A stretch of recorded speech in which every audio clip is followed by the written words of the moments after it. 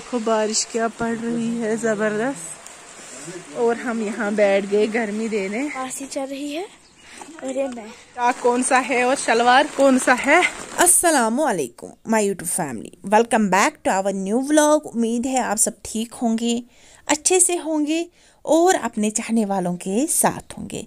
तो टाइटल और थंबनेल से आप लोगों को पता ही चल गया होगा कि आज क्या है घर पे? तो जी हाँ बिल्कुल, आज घर पे है ईद साल।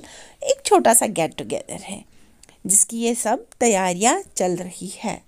तो मैं बता देती हूँ, जिन लोगों ने हमारे चैनल को सब्सक्राइब नहीं किया है और जो जो नए हैं तो प्लीज़ प्लीज़ प्लीज़ चैनल को सब्सक्राइब कीजिएगा। आप ब्लॉग को फुल देखते हो और फिर सब्सक्राइब करना भूल जाते हो। आपका एक एक सब्सक्राइब हमारे लिए बहुत माने रखता है। प्लीज़ सपोर्ट अस्सलाम वालेकुम वरहमतुल्लाहि वबरकातुहू ठीक असल पुश। मकलो तय मम्मी सारी गमल अनमित युकन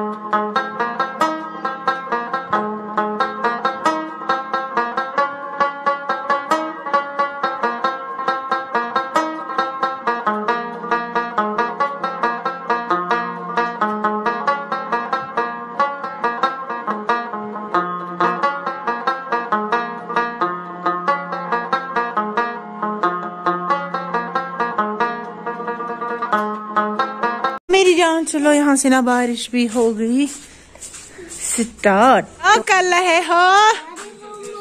नहीं गाड़ी बंद किया है गाड़ी किया है अंकल ने बंद देखो ये कहा मानेगा।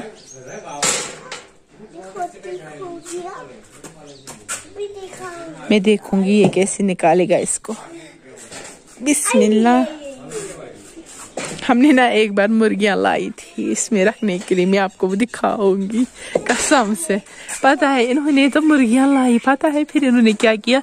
ये अच्छा खासा बनाया था। मगर इन्होंने नीचे ना इसको फ्लोरिंग नहीं डाली थी। नीचे ना हाँ। यहाँ स्नेक है। नीचे ना इन्होंने सीधे सीमेंट पे लगाई जिसके अंदर वो आता है ना कुछ कश्मीर मुझे नहीं पता उसको क्या बोलते हैं मैं सीधे बोलूँगी नहीं पता मुझे। कश्मीरी जिसको बोलते हैं ना, कश्मीर में नूल। हाँ मुझे बोलना उसको क्या बोलते हैं? इंग्लिश या उर्दू में।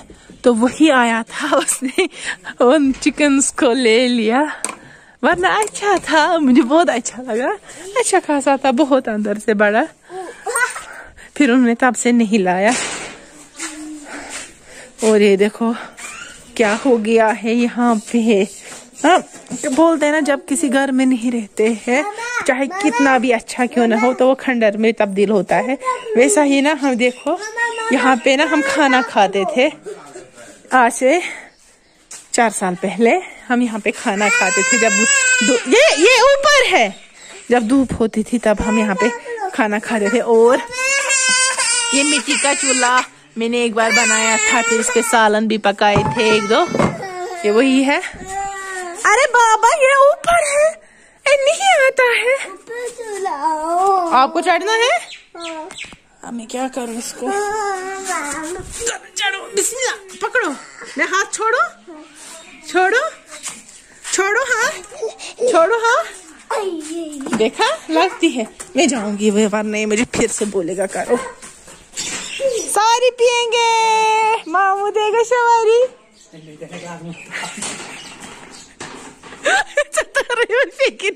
जागो से हाँ हाँ देखो बारिश क्या पड़ रही है, ज़बरदस्त। और हम यहाँ बैठ गए गर्मी देने। और देखेंगे थोड़ा थोड़ा को खाने को भी मत मिलेगा। वो भी खाएँगे। व्यू पत्थर या तो रोज चेयर पकना युकुन वहाँ से बारिश है।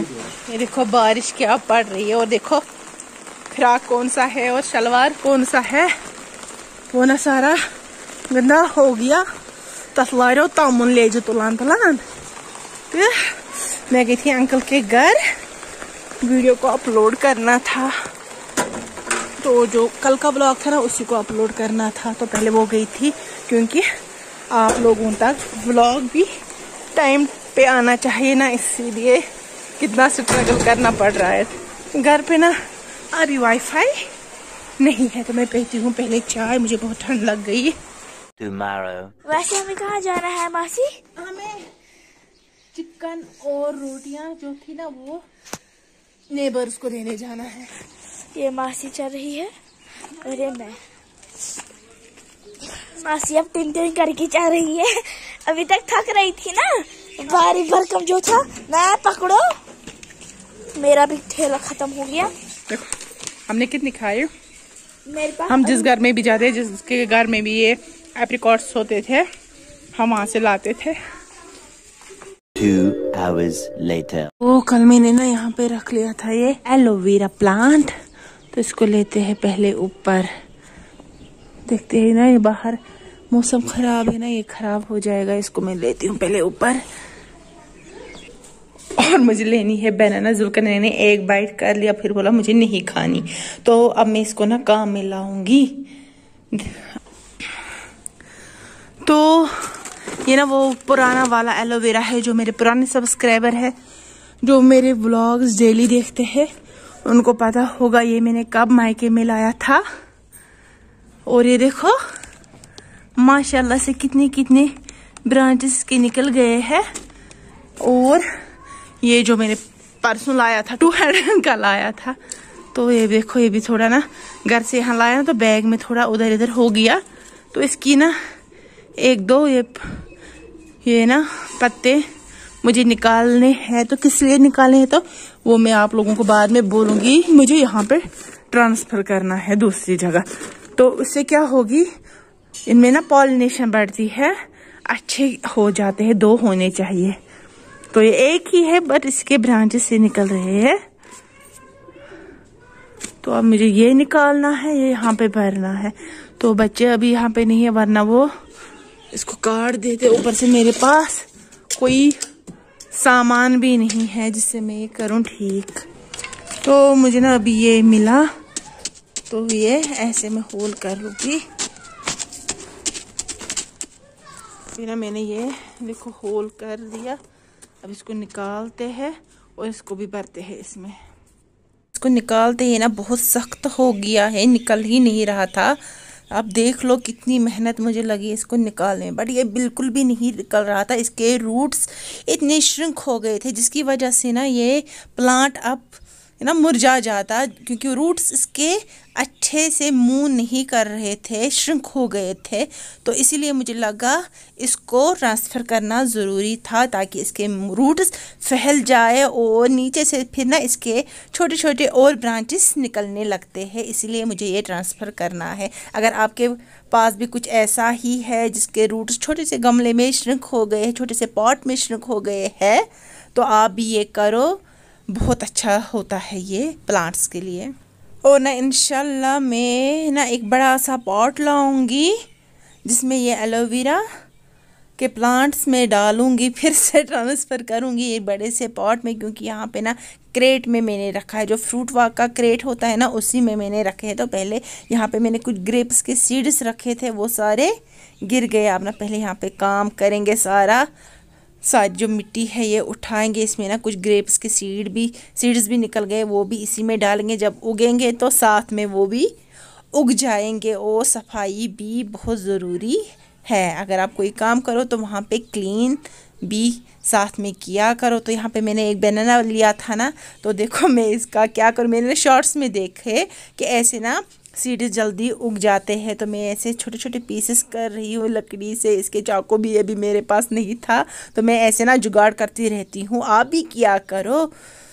तो ये यहाँ पे, अब मैं इनमें ना ये जो मैंने सीड्स रखे थे, ये ना लाए थे कहीं से इन्होंने घर वालों ने ग्रेप्स बोला ये बीपी के लिए बेस्ट होते हैं ये ग्रेप्स तो मैंने सोचा चलो देखते हैं घर पे उगेंगे या नहीं, क्योंकि हमारे पास एक ग्रेप्स का प्लांट ऑलरेडी है बट उसमें छोटे छोटे होते ये ना वो पर्पल कलर के ग्रेप्स है, जिनमें सीड्स भी होते हैं, और मैंने सुना है ये बीपी के लिए बहुत अच्छे अगर उग जाएँगे तो वेल एंड वेल गुड आगे भी हम ये प्रोसेस करते रहेंगे। फिर और आप लोगों को पता ही मैं ये सब करती ही रहती हूँ क्योंकि मुझे ये गार्डनिंग का बहुत ज़्यादा शौक़ है।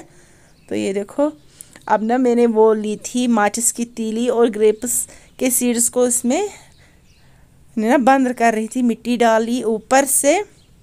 ये देख लो, अब ना मैं क्या करूँगी, इसमें से थोड़ा सा ना पानी छिड़क छिड़कूँगी क्योंकि एलोवेरा के प्लांट से इनको ज़्यादा पानी नहीं देना होता है। बट अब ये नया नया ट्रांसफ़र किया है ना तो थोड़ा सा दूँगी ताकि ये मुरझा ना जाए। तो अगर आप लोगों ने अभी तक चैनल को सब्सक्राइब नहीं किया है तो प्लीज़ सब्सक्राइब कीजिएगा। मुझे ना आप लोगों के सपोर्ट की बहुत ज़रूरत है। आपको लगता है होगा कि एक सब्सक्राइब करने से क्या होगा? आपके लिए तो कुछ नहीं होगा बट मेरे लिए बहुत बहुत बहुत कुछ है। तो ये देख लो। रख लिया मैंने यहाँ पे। तो मिलते हैं एक नए व्लॉग में। तब तक के लिए अल्लाह हाफिज़।